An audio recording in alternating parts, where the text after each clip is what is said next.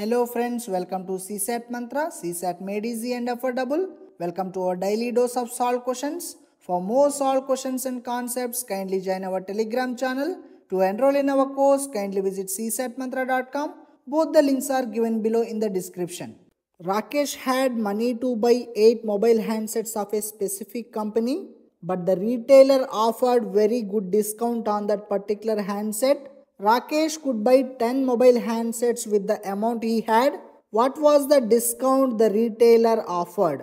This question is asked in 2019 from Profit and Loss chapter. Very easy question, my friends. See, in this problem, we are not bothered about cost of mobile handsets, their actual value. All we want here is the discount in terms of percentages, my friends. So we are free to take the cost of mobile handsets as any value. According to that, the discount will be obtained and this discount doesn't depend on this cost, my friends, okay?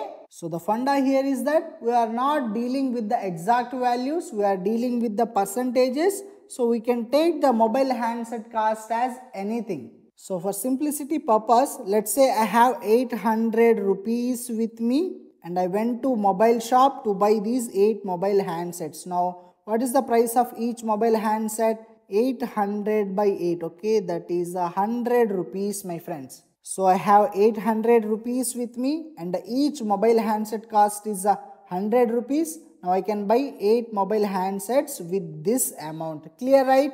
Now what shop owner did is he gave very good discount. Now with this amount I was able to buy 10 mobile handsets. Now what is the cost of each mobile handset? Total money I have by number of mobile handsets I bought. Okay, this is 80 rupees. Now this is the regular price without discount my friends. Okay, it's a regular price. Now with discount, this is selling price. Now what is the discount formula? Regular price minus selling price by regular price. Okay, discount will be given on regular price my friends. Okay, we want percentage right?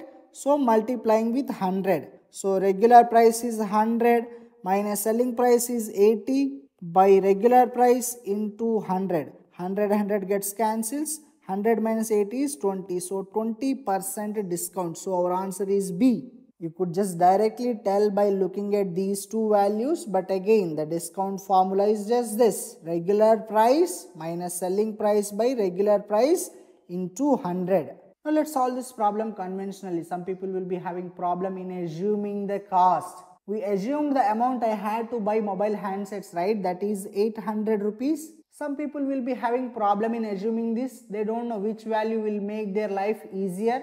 So in that case, no worries. Just assume the amount Rakesh had to buy 8 mobile handsets. Okay, let's assume the total amount as X. So Rakesh had X rupees to buy 8 mobile handsets. Now what is the cost of each mobile handset? That is uh, X by 8 this is the regular price my friends okay at which the shop owner has to sell the mobile handset but he is a good guy he is giving the discount now rakesh could buy 10 mobiles with this amount. Now what is the cost of each mobile? That is a x by 10 my friends okay? This is a selling price. Now we want percentage of discount offered. That is a regular price minus selling price by regular price into 100 discount is calculated on regular price my friends okay? You are giving discount on this price my friends. Now regular price is x by 8 selling price is x by 10 by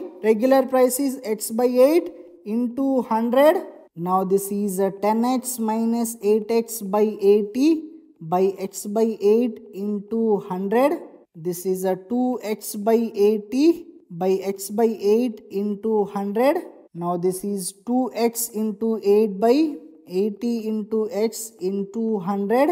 x x gets cancels 8 ones are 8 tens are 0 0. So this is a 20% my friends okay. So our answer is B. This is what we did in the previous method my friends. We just assumed x as 800. This assuming the simplest value comes with the practice my friends. In case if you don't get any idea then just take it as x no problem. Now one more important observation. See discount is not dependent on H my friends. H got cancelled out here.